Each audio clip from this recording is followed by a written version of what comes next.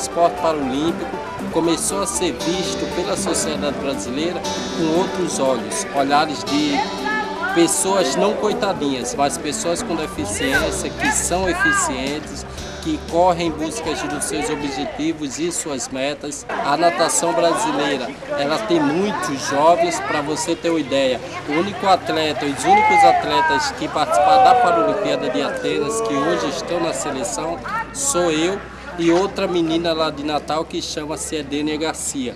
Então, isso é uma prova que o Brasil Paralímpico e a natação está evoluindo, está acontecendo uma renovação e eu fico feliz. Fico feliz porque eu sinto que eu contribuí é, um pouco para que esse panorama nacional pudesse mudar.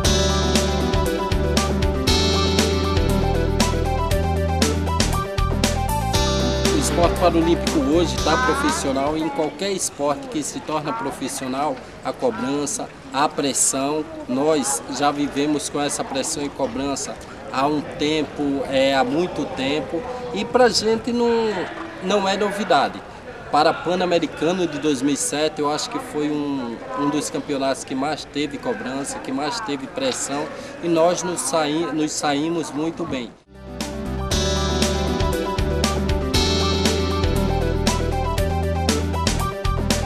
Pela primeira vez, a seleção brasileira de todas as modalidades, que serão 13, disputadas na Inglaterra, principalmente na natação. Pela primeira vez estamos unindo quantidade e qualidade. Antes nós juntávamos uma ou outra coisa e em Pequim a delegação brasileira se saiu em nono lugar.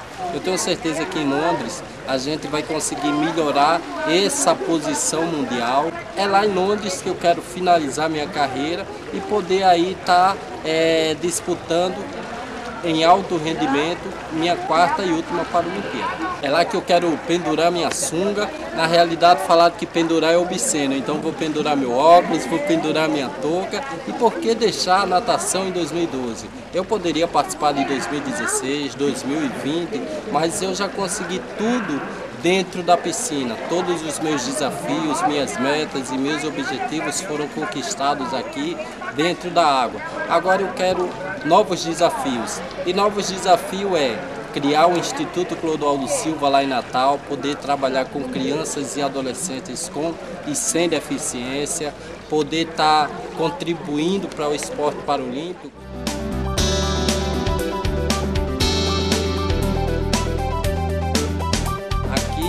é, eu consigo ter piscina, academia, alimentação, local para descanso e hoje o esporte paralímpico ele está muito profissional, não tem mais lugar para amadorismo. Então se você quer ser medalhista paralímpico, se você quer ter um destaque nacional ou internacional, você tem que ter toda essa estrutura. E é isso que a Andef nos proporciona e eu espero que essa instituição possa servir de exemplo e espero que é, não possa acontecer como aconteceu comigo no passado. Eu tive que ir para uma Paralimpíada, evento mais importante da vida de qualquer atleta, ter que ganhar seis medalhas de ouro e uma de prata para depois ter reconhecimento. Eu acredito que um país que quer ser de primeiro mundo não precisa só fazer eventos monumentais, mas acima de tudo poder estar começando com a igualdade dessas pessoas com deficiência.